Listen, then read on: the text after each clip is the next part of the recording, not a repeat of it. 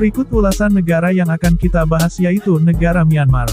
Peradaban awal di Myanmar termasuk penduduk berbahasa Tibeto-Burma di Burma Utara dan Kerajaan Mon di Burma Selatan. Pada abad ke-9, orang Bamar memasuki lembah atas Sungai Irawadi, diikuti dengan didirikannya Kerajaan Pagan tahun 1050-an. Sejak saat itu, bahasa Burma, termasuk budaya dan Buddha Theravada perlahan-lahan menjadi dominan di negara ini. Kerajaan Pagan jatuh akibat invasi Mongol. Pada abad ke-16, setelah disatukan oleh dinasti Taumol, negara ini sesaat pernah menjadi kekaisaran terbesar dalam sejarah Asia Tenggara. Pada abad ke-19, dinasti Konbaum menguasai daerah yang di dalamnya termasuk wilayah Myanmar modern saat ini dan sesaat menguasai Manipur dan Assam. Inggris menguasai Myanmar setelah tiga perang Anglo-Burma pada abad ke-19 dan negara ini kemudian menjadi koloni Inggris. Myanmar mendapatkan kemerdekaan tahun 1948, awalnya sebagai negara demokrasi, tetapi setelah kudeta tahun 1962, negara ini dikuasai militer.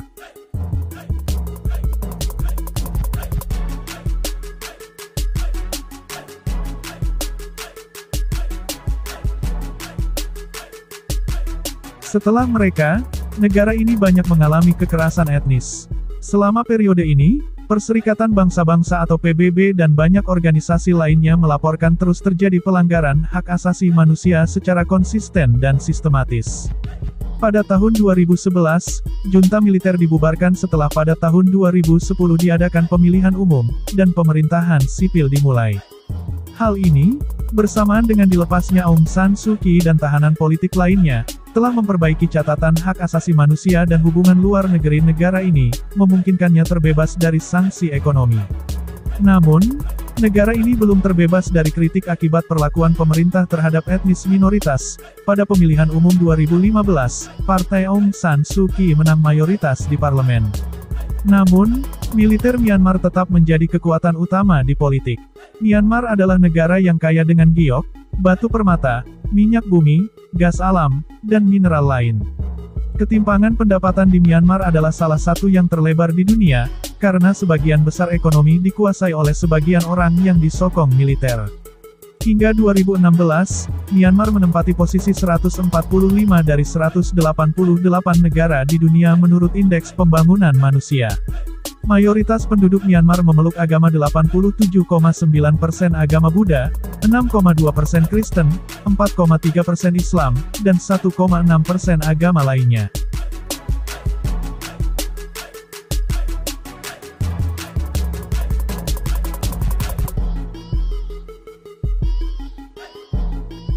Sejarah Myanmar Zaman prasejarah Myanmar atau Burma tidaklah berbeda dengan negara-negara Asia Tenggara lainnya.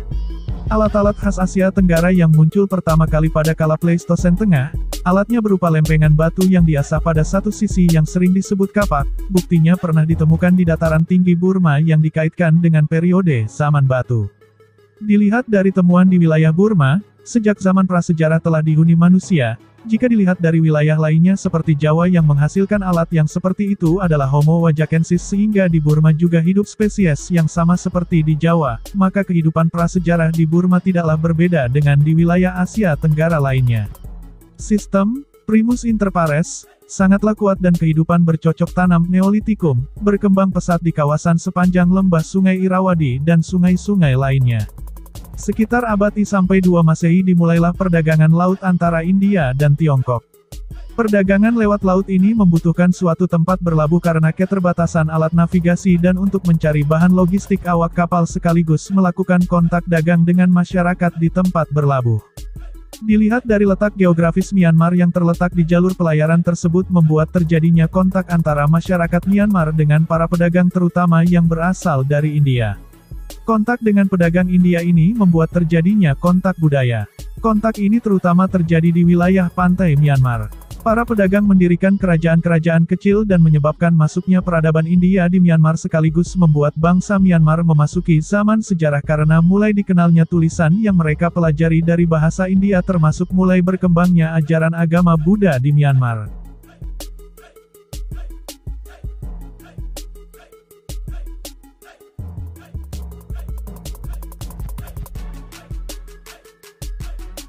Myanmar merupakan bekas jajahan Inggris di mana Inggris merupakan negara yang mengawali hadirnya demokrasi. Namun substansi demokrasi tidak bertumbuh dengan semestinya di negara bekas jajahannya. Demokrasi terjadi pada abad ke-18 dan 19 yang dianggap sebagai masa kebangkitan demokrasi. Demokrasi berawal dari kerajaan Inggris dengan pergerakan sosialnya berlangsung cepat, karena Inggris sebagai negara yang maju dari segi jurnalisme. Kolonialisasi yang dilakukan Inggris seharusnya secara tidak langsung memberikan dampak bagi wilayah jajahannya dalam hal transformasi nilai-nilai demokrasi.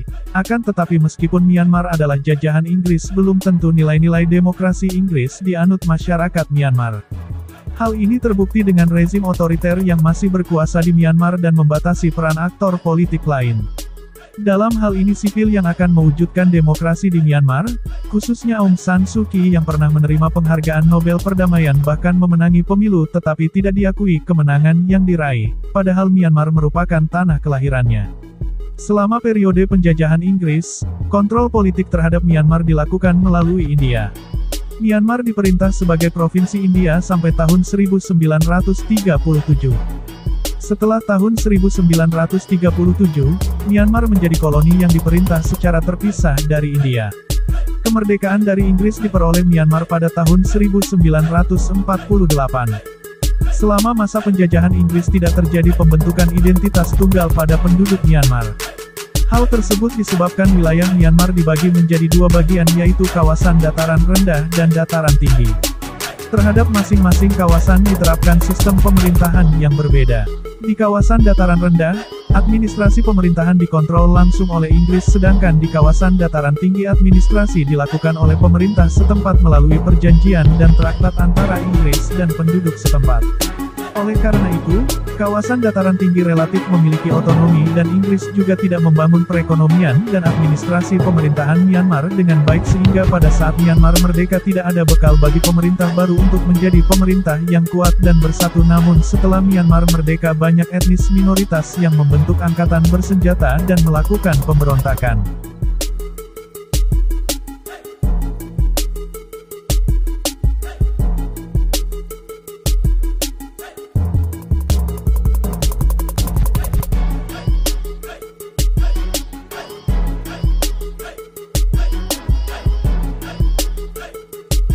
Pada tahun 1948, tepatnya tanggal 4 Januari Myanmar, berhasil meraih kemerdekaan dari Inggris.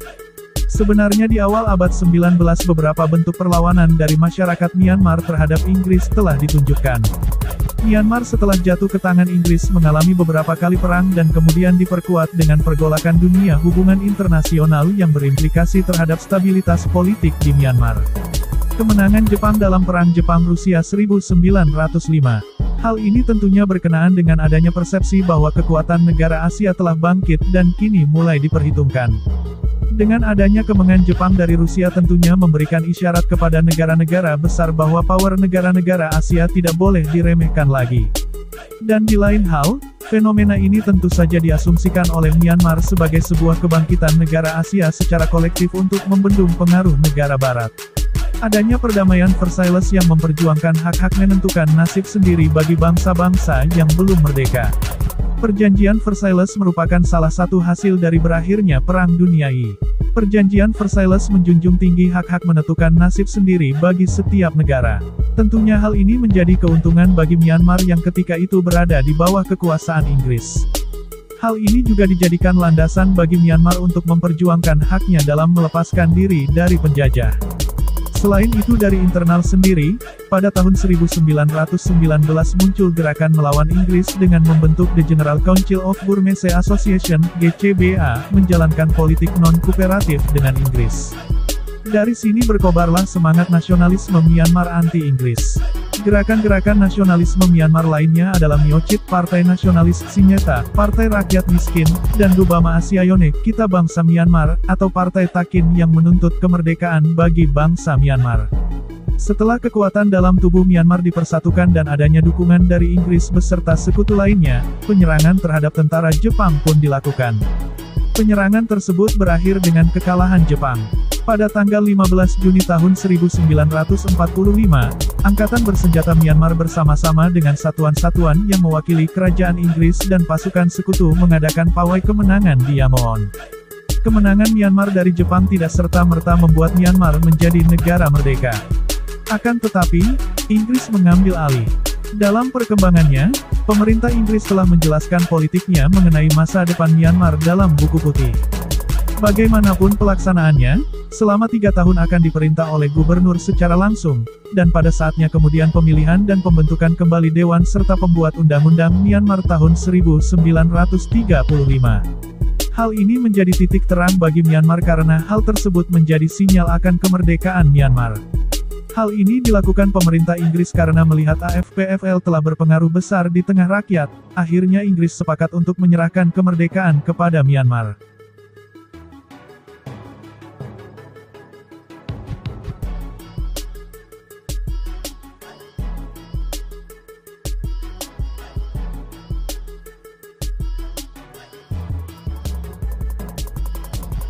Geografi Myanmar memiliki luas wilayah 676.578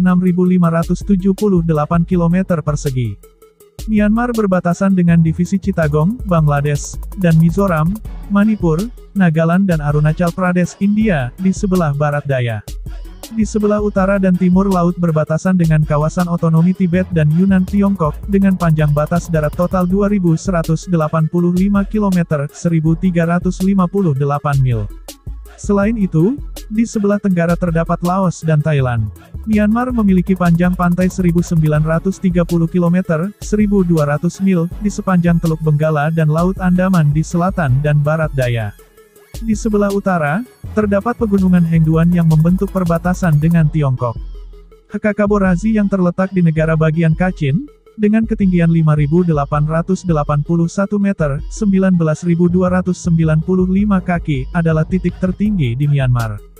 Banyak pegunungan di Myanmar, seperti Rahine Yoma, Bago Yoma, Perbukitan San dan Perbukitan Tenas Serim, memanjang dari utara ke selatan dari Himalaya.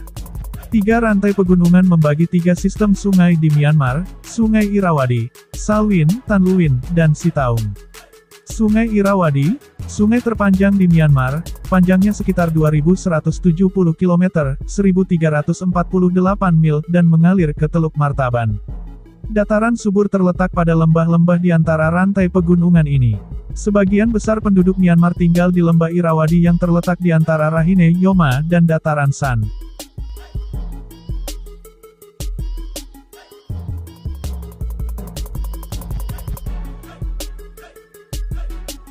Ekonomi Burma berasaskan pertanian dan fungsi terutama pada kas dan sistem barter. Industri utamanya dikontrol oleh militer yang dikelola perusahaan-perusahaan negara. Setiap aspek kehidupan ekonomi diserap oleh pasar gelap, di mana reaksi harga meroket terhadap kontrol harga resmi sejak tahun 1989, SPDC Kebijakan Ekonomi Pasar Terbuka telah membawa banjir investasi asing di minyak dan gas oleh perusahaan-perusahaan barat dan dalam kehutanan, pariwisata, dan pertambangan oleh perusahaan-perusahaan Asia. Ledakan yang dihasilkan dalam perdagangan dengan Tiongkok telah mengubah Burma kurang berkembang menjadi pusat bisnis yang berkembang pesat. Sebuah program pemberantasan narkotika telah dimulai di perbatasan timur laut negara bagian, yang menyumbang sekitar 60% dari heroin dunia, dengan mendorong petani untuk menanam tanaman pangan bukan popis. Beberapa rencana ada untuk sektor manufaktur, dan ketergantungan pada impor Myanmar, negara bersumber harga tinggi, menderita kontrol ketat dari pemerintah kebijakan ekonomi yang tidak efisien, dan kemiskinan rural. Junta aktivis Myanmar mengambil langkah-langkah pada awal 1990-an untuk membebaskan ekonomi setelah berdekade-dekade mengalami kegagalan di bawah Burmese Way to Socialism, tetapi usaha tersebut tertahan, dan beberapa tindakan liberalisasi ditunda. Myanmar tidak memiliki stabilitas moneter ataupun fiskal, akibatnya ketidakseimbangan kondisi makroekonomi termasuk inflasi, nilai tukar resmi berfluktuasi tidak sesuai dengan nilai kiat Myanmar, dan suku bunga rezim yang tidak jelas. Sebagian besar bantuan pembangunan tertahan setelah junta mulai menekan pergerakan demokrasi di 1988 dan menolak menerima hasil pemilihan legislatif tahun 1990. Sebagai respon terhadap penyerangan Myanmar di Mei tahun 2003 terhadap Aung San Suu Kyi dan pendukungnya, AS memaksakan sanksi ekonomi baru terhadap Myanmar termasuk larangan impor produk Myanmar dan larangan member pelayanan finansial oleh personel AS. Iklim investasi yang buruk juga memperlambat arus nilai tukar asing. Sektor yang paling produktif hanya di industri ekstraktif, khususnya minyak dan gas, penambangan dan kayu mentah area lain, seperti pabrik dan lain-lain. Keadaan penduduk Myanmar pada tahun 2020 sekitar 62.531.000 jiwa dengan kepadatan 70 jiwa per kilometer persegi. Penduduk Myanmar terdiri dari beberapa kelompok etnis. Kelompok terbesar adalah etnis Burma turunan Tibet Burma sebagai pewaris bangsa-bangsa Pius dan Mon yang menempati wilayah di sektor Sungai Irawadi. Penduduk Myanmar bekerja di sektor pertanian meliputi pertanian sawah, tegalan, perkebunan, ladang, dan lain-lain.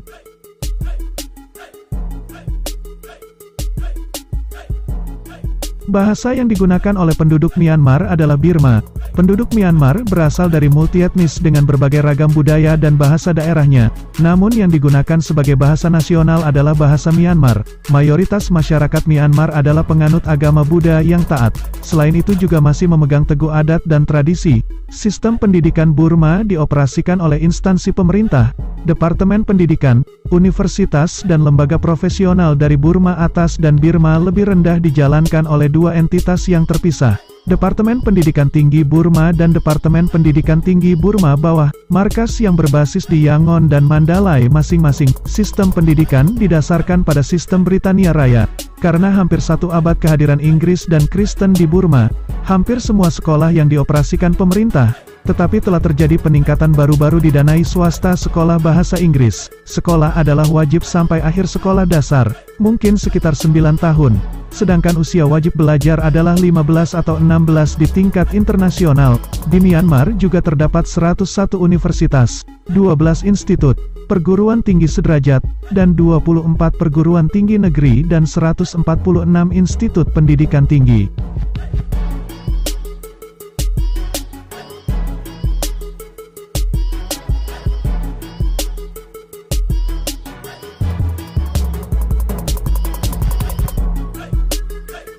Itulah tadi sedikit ringkasan dan fakta dari negara Myanmar, salah satu negara yang berada di Asia Tenggara. Semoga terhibur, dan nantikan video-video dari kami selanjutnya.